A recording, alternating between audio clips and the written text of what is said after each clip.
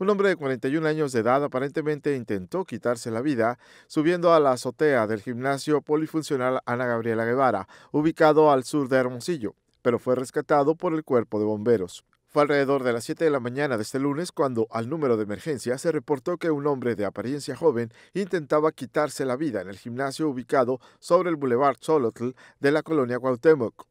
Decenas de espectadores llegaron al lugar donde el hombre amenazaba con arrojarse desde una altura aproximada de 30 metros, mientras que un oficial de bomberos intentaba convencerlo de que descendiera voluntariamente. Después de dos horas de labor de convencimiento, finalmente el hombre accedió, de forma voluntaria, a descender en la unidad de escalera en compañía de dos apagafuegos. Posteriormente, elementos de la Cruz Roja le trasladaron a un hospital para recibir atención médica, ya que aparentemente se mostraba afectado y confundido por la situación.